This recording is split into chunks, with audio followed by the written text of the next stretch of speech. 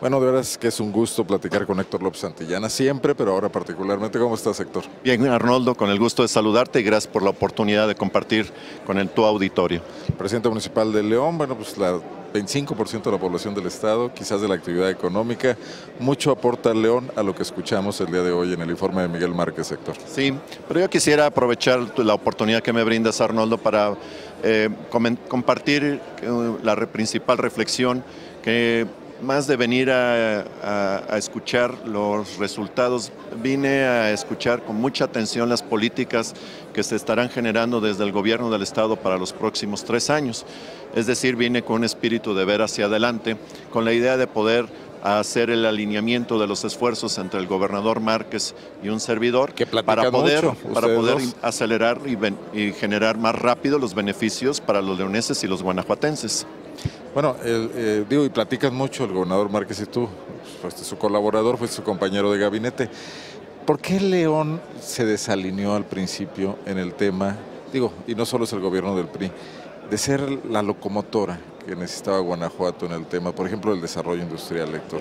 Yo creo que es producto de la eh, enorme eh, pluralidad que existe en León yo me, he permitido compartir reflexiones con los diferentes grupos sociales de nuestro municipio, que León es reflejo de, los eh, diferentes intereses fuertes que hay en la ciudad y que cada uno de ellos estaba tratando de dibujar la ciudad de acuerdo a su propia visión, visión particular y esto ha provocado, digamos, un desdibujamiento de la imagen integral en todos los aspectos, en su urbanismo, en su movilidad, en su economía. Los parques industriales, el ¿no? Los que llegan claro, tarde. El reto entonces de León es generar un proyecto unificado de visión de ciudad que amalgame y que integre esta enorme riqueza que tenemos en nuestra pluralidad y la diversidad, y es el trabajo político que hay que hacer. Van en esa línea.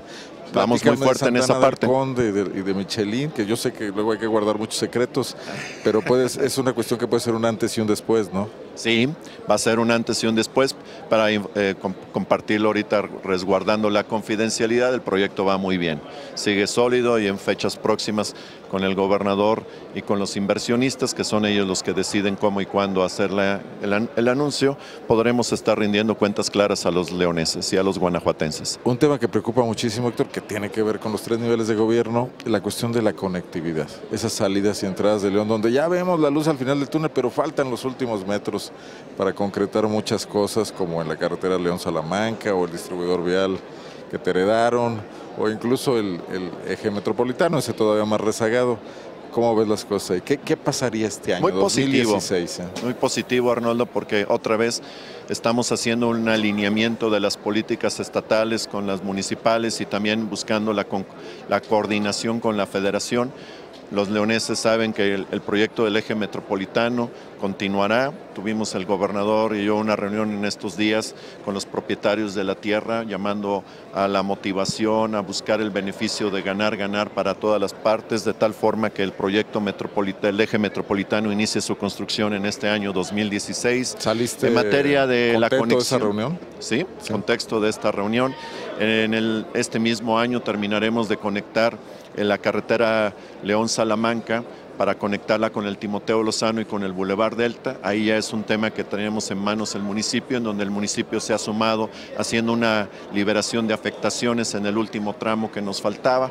Las cosas están bien, el, el concesionario ya está de acuerdo, SCT nos ha dado la digamos, la autorización, de tal forma que nuevamente en, este año podríamos ya tener hecha realidad la conexión del poquito menos de un kilómetro que le falta a la carretera León-Salamanca para conectarla al Timoteo Lozano y entroncarla al Boulevard Delta. El tema de la conectividad regional es estratégico para León.